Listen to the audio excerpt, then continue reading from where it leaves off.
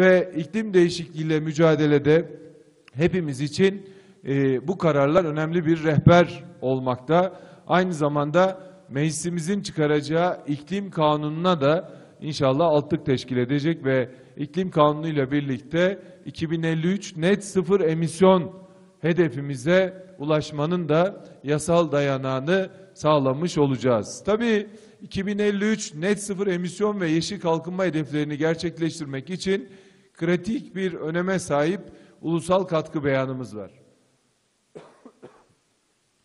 Ulusal katkı beyanı da aslında bu manada çok çok önemli. Beyanımızda biz yeni bir hedef belirledik.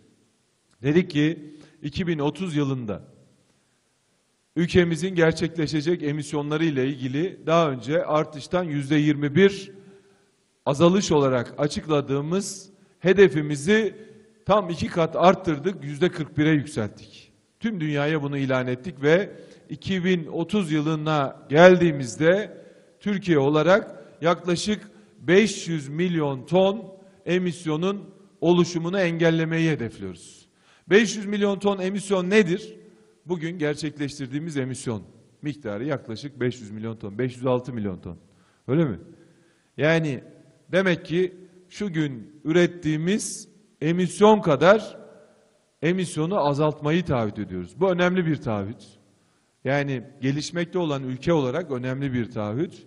Bu önemli hedef, bu hedef doğrultusunda yine pik emisyonlarımızı da 2038 yılına kadar yakalayacağımızı dünyaya ilan ettik. Akabinde de inşallah tüm sektörlerimizle, toplumun tüm kesimiyle birlikte ki bu konu terörle mücadele kadar önemlidir. Milli güvenlik meselesidir. İstikbalimizdir, istiklalimizdir, geleceğimizdir.